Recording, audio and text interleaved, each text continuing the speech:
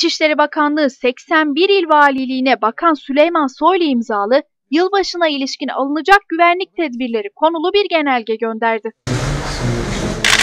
Genelgede vatandaşların yeni yıl programlarını huzur ve güven içinde geçirmelerini sağlamak amacıyla genel güvenlik ve asayişin temini, terör değerlendirmeleriyle şehirler arası şehir içi yollarda trafik akımının diğer günlere oranla yoğunluğu dikkate alınarak proaktif önlemler alınması istendi.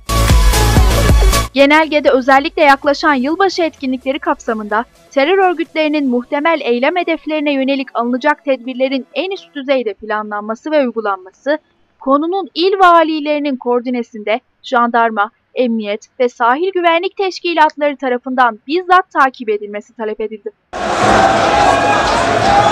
Bakanlığın valilere gönderdiği genelgede alınacak tedbirlere göre hava şartları dikkate alınarak özellikle yılbaşı gecesi görevlendirilecek önleyici devriyelerle trafik akışının düzenlenmesi, kavşaklarda ve kritik görülen güzergahlarda kontroller yapmak maksadıyla görevlendirilecek trafik timlerinin sayısı artırılacak.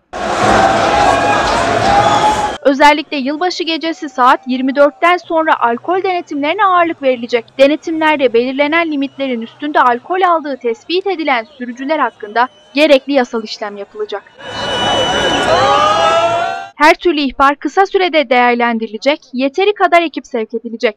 Sevk edilen ekiplerin koordineli ve eş zamanlı olarak olay yerine intikali planlanarak örnek tatbikatlar yapılacak.